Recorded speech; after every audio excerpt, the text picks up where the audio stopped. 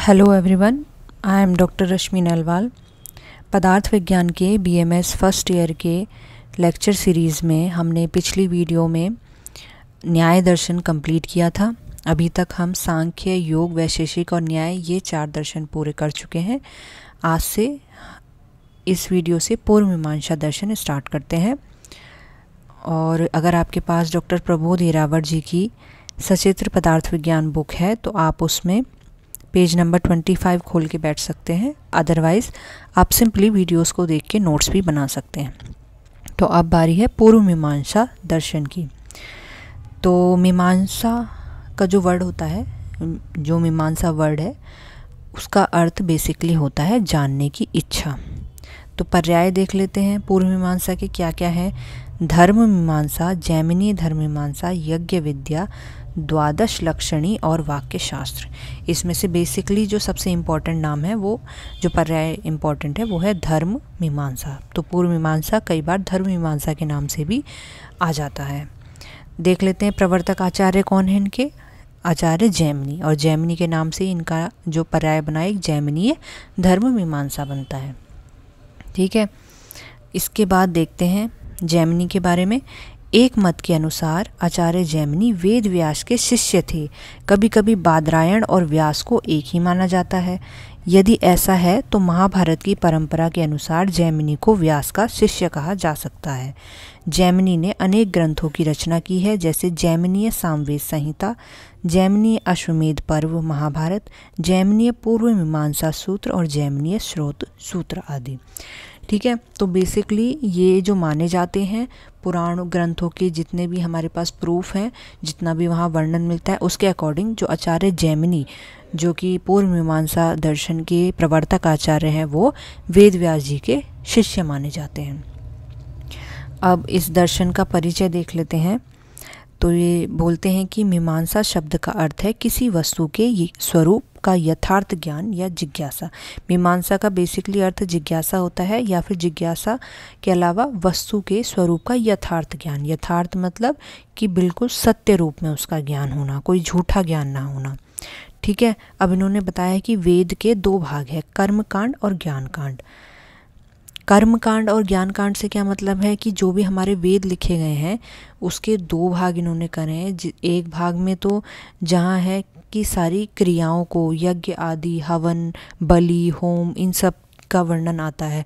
और दूसरा भाग कहा जा सकता है वेदों का ज्ञान कांड जहाँ धर्म की बातें होती हैं और क्रियाकलाप से ज़्यादा मोक्ष, आत्मा, शरीर, इन सबको जानने की बात होती है, सूक्ष्म से सूक्ष्म चीज़ को, स्थूल से स्थूल चीज़ को। तो वहाँ ज्ञान की प्रधानता होती है और कर्म कांड वाले भाग में यज्ञ, होम, बलि आदि, इन सब कर्म कांडों की प्रधानता होती है। फिर कर्म कांड पर की गई है कर्म मीमांसा, जिसे पूर्व मीमांसा के नाम से जाना जाता है, और ज्ञान कांड पर ज्ञान मीमांसा की गई है, जिसे कहते हैं वेदांत दर्शन। इसके बाद पूर्व मीमांसा के बाद हम दूसरा पढ़ेंगे वेदांत दर्शन। तो पूर्व मीमांसा जो की गई है, वो बेसिकली वेद के जो कर्म कांड वाला भाग है, उसको वो ज़्यादा मानते हैं, उसको वो प्रायोरिटी मान के जितनी भी बातें कही है, वो कर्म कांड से रिलेटेड कही गई है। और इसके बाद जो हम वेदांत दर्शन पढ़ेंगे, जो कि आखिरी आस्तिक दर्शन है हमारा पढ़ने की सीरीज़ में, उसमें जो ज़्यादातर बात की गई है, वो ज्ञान मीमांसा, ज्ञान को जानने की इच्छा के लिए की गई है। पूर्व मीमांसा दर्शन का मुख्य विषय धर्म है। ठीक है? इस दर्शन के अनुसार जिससे कल्याण की प्राप्ति हो। अभी इसका नेक्स्ट पेज देख लेते हैं। उसे धर्म कहते हैं। ठीक है? जिससे कल्याण की प्राप्ति होती है, उसको धर्म कहते हैं। इसमें वेद के यज्ञ परक वचनों की व्याख्या की गई है। जैसा कि मैंने बताया कि ये टोटली वेद से लिया गया एक दर्शन है। वेद पर पूरी की तरह पूरी तरह आश्रित वेद के जो कर्म कांड वाले पार्ट है, उस पर आश्रित दर्शन है पूर्व मीमांसा। इस दर्शन को पूर्व मीमांसा इसलिए कहा जाता है क्योंकि इसमें ज्ञान का विचार करने से पूर्व कर्म कांड पर विचार किया गया है। तो ज्ञान के विचार से पूर्व किसी चीज़ को जानने की अपेक्षा सबसे पहले कर्म कांड उसके पूर्व में ही कर्म कांड करने का इसमें वर्णन कर दिया गया है, इसीलिए इसे पूर्व मीमांसा कहा जाता है। इसके बाद ही वेदांत दर्शन के ज्ञान कांड को समझा जा सकता है। ये भी इन्होंने क्लियर कर दिया कि पहले जब हम कर्म कांड को जान जाएँगे, उसके बाद ही हम ज्ञान कांड वाले पोर्शन को जान पाएँगे। अतः इसे पूर्व मीमांसा और वेदांत दर्शन को उत्तर मीमांसा कहा जाता है, ठीक है? इसीलिए ये वाला कहला कहलाया गया पूर्व मीमांसा दर्शन और जो वेदांत दर्शन था, उसे उत्तर मीमांसा कहा गया कि उत्तर मीमांसा को पढ़ने से पहले हमें पूर्व मीमांसा को जानना ज़रूरी है। पूर्व मीमांसा दर्शन में परमाणु के अलावा अन्य किसी दार्शनिक तत्व का वर्णन नहीं है। ठीक है? जैसे अलग अलग हमने दर्शनों में देखा, कई लोगों ने षट पदार्थ, सो, षोडश पदार्थ, इन सब चीज़ों का वर्णन किया, प्रकृति पुरुष। लेकिन जो पूर्व मीमांसा दर्शन है, उसमें केवल एक दार्शनिक तत्व परमाणु के ऊपर बात हुई है, बाकी किसी तत्व पर बात नहीं हुई है। और इसका मुख्य विषय केवल धर्म माना गया है, और कई लोग इसे, ऐसा भी है कि कई लोग इसे दर्शन नहीं मानते। कुछ खास दर्शन इसे नहीं माना जाता, परंतु यह विचार उचित नहीं है। वेद ज्ञान का स्वरूप है। वेद के अर्थ का ज्ञान कराने वाला शास्त्र है पूर्व मीमांसा, अतः इसे दर्शन मानना उचित ही है, क्योंकि वेद में जो लिखित ज्ञान है, भले ही वो कर्मकांड से संबंधित है, पर पूर्व मीमांसा उसका यदि ज्ञान करवा रहा है तो उसे दर्शन में इंक्लूड करना ही चाहिए। भले ही उसमें केवल एक तत्व परमाणु की बात हुई हो, लेकिन हुई है और कुछ ना कुछ ज्ञान मिला है तो इसीलिए उसे दर्शन में इंक्लूड किया गया है। अब पूर्व मीमांसा के दर्शन और उसके, के आचार्य और उनके ग्रंथ आ जाते हैं तो बेसिकली हमें एक ही याद रखना है, जैमिनी और जैमिनी का है पूर्व मीमांसा सूत्र, जो कि पूर्व मीमांसा दर्शन पर लिखी गई बुक है। ठीक है? इसके बाद एक कुमारिल भट्ट की भी श्लोका वार्तिक और तंत्र वार्तिक करके कभी कभी पूछ लेते हैं। और ये सब जो आचार्य हैं, अगर आप कॉम्पिटेटिव एग्ज़ाम की तैयारी कर रहे हैं तो इनको अलग से नोट कर सकते हैं आप। सभी आचार्य और उनके द्वारा लिखी गई जो भाष्य हैं या जो बुक का नाम है वो लिख सकते हैं। कभी कभी पूछ ले बहुत ज़्यादा इम्पोर्टेंट नहीं है ये। आ, लेकिन कभी कभी पूछ लिया जाता है। फिर अपूर्व मीमांसा दर्शन की रचना के बारे में कुछ यहाँ पर है कि किस प्रकार के इसमें चैप्टर्स हैं किस प्रकार के उसमें उसके भाग किए गए हैं पाद के रूप में देखते हैं। मीमांसा दर्शन में टोटल इन्होंने 16 अध्याय बताए हैं जिनमें से 12 अध्यायों को क्रमबद्ध किया गया है। टोटल सोलह अध्याय हैं, जिसमें से बारह ही जिसका पठन पाठन किया जाता है, ऐसे केवल बारह चैप्टर हैं और बाकी के जो चार चैप्टर हैं, वो माना जाता है कि वो परिशिष्ट भाग है। जो सोलह, जो बारह चैप्टर आए शुरू के, उसमें कुछ कुछ चीज़ें जो रह गई तो उन हर चैप्टर की जो छोटी छोटी चीज़ है, उसको हमने बाकी के चार अध्यायों में बताया है। तो ऐसे जो चार अध्याय बाकी के हैं, उसको संकर्ष कांड देवता कांड या फिर द्वादश अध्यायों का परिशिष्ट इस नाम से भी जाना जाता है। और पठन पाठन में केवल ये शुरू के जो बारह चैप्टर हैं, उन्हीं का यूज़ किया जाता है। ठीक है? अब उन बारह चीज़ों में भी जैसे हमने वैशेषिक और न्याय दर्शन में पढ़ा था कि हर एक अध्याय के दो दो पार्ट थे जिन्हें आहनी कहा गया था। उसी प्रकार यहाँ बारह चैप्टर में भी हर एक चैप्टर के इन्होंने चार पाद बताए हैं। ठीक है, चार पाद, एक पाद जो होता है वो वन फोर्थ हिस्सा होता है। और उसमें से भी जो तीसरा, छठा और जो दसवां चैप्टर है, उसके उन्होंने चार की जगह दुगने, यानी आठ आठ पाद बताए तो टोटल कितने हो गए? अगर ट्वेल्व इंटू फोर करते हैं तो टोटल हो गए आपके पास फोर्टी एट पाद। ठीक है, उसमें से भी तीन में चार चार एक्स्ट्रा हैं, यानी बारह एक्स्ट्रा हैं तो टोटल यहाँ पे आ जाते हैं आपके साठ पाद। तो अगर क्वेश्चन आ सकता है कि आपका पूर्व मीमांसा दर्शन में टोटल जो सूत्र है उसकी बुक पूर्व मीमांसा सूत्र, उसमें टोटल कितने पाद हैं? तो वो गिने जाएँगे सिक्सटी ओके बाकी ये इतना याद रखना इम्पोर्टेंट नहीं है कि कुल इसमें सूत्रों की संख्या कितनी है, या फिर इसमें मत भिन्नता में कुछ कितने सूत्र हैं और वगैरह वगैरह। ये सब उतना इम्पोर्टेंट नहीं है। मेन आपको अध्याय कितने हैं टोटल और उसमें पाद कितने हैं, ये ज़रूर याद रखना है। इसके बाद इन्होंने अध्यायों के उसमें एक एक उसमें क्या इंडेक्स है किस किस अध्याय में किस किस चीज़ का वर्णन दिया गया है, उसके बारे में सब कुछ बताया गया है। और आप पढ़ेंगे तो आपको पता चलेगा कि इसका वर्णन जो है, जितना भी वर्णन इसमें दिया गया है तो ये अधिकतर कर्म कांडों पर ही आधारित है। इसमें किसी भी प्रकार की तत्व की बात ही नहीं की गई है एक्सेप्ट परमाणु।